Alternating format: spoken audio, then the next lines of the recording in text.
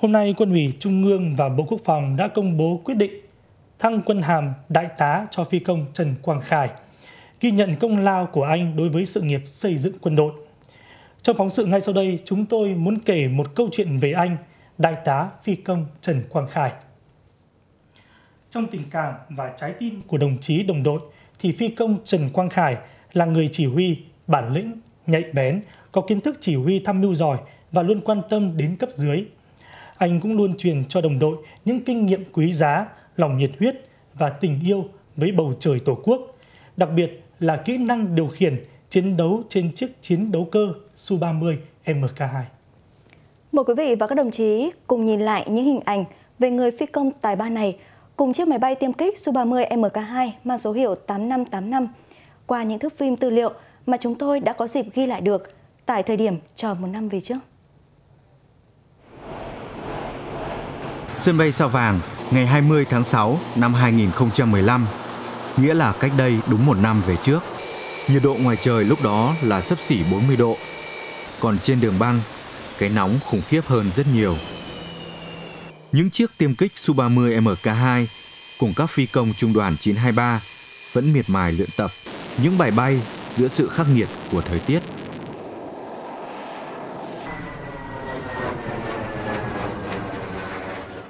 Còn những người thợ kỹ thuật thì không quản ngại nắng nóng, vẫn đứng hàng giờ trên đường băng để cẩn thận kiểm tra từng thông số an toàn của máy bay trước khi cất cánh.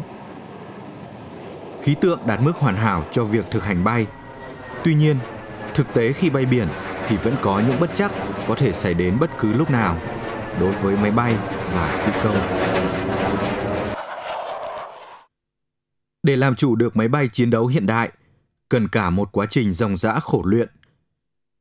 Nhiều năm tháng của các phi công, họ ngày ngày phải rèn luyện thể lực, nghiên cứu lý thuyết, kinh nghiệm trong buồng tập mô phỏng, đồng thời tích cực trau dồi yếu lĩnh động tác trong thực tế của những bài bay.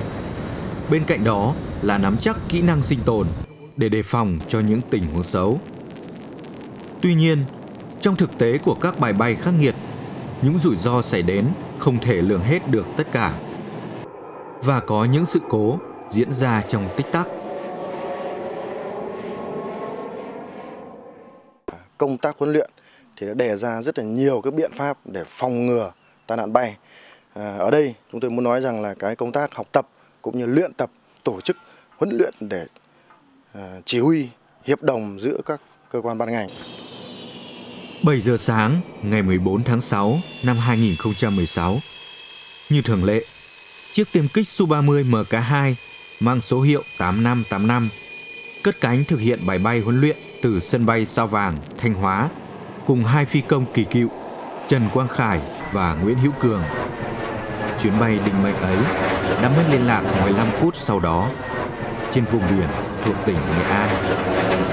Một ngày sau, khi thiếu tá phi công Nguyễn Hữu Cường được ngư dân cứu sống trên biển, thì các đồng đội của anh lại càng được tiếp thêm hy vọng bởi Trần Quang Khải là một phi công cấp 1 dày dạn kinh nghiệm với hơn 1.000 giờ bay, trong đó là hơn 510 giờ bay với Su-30.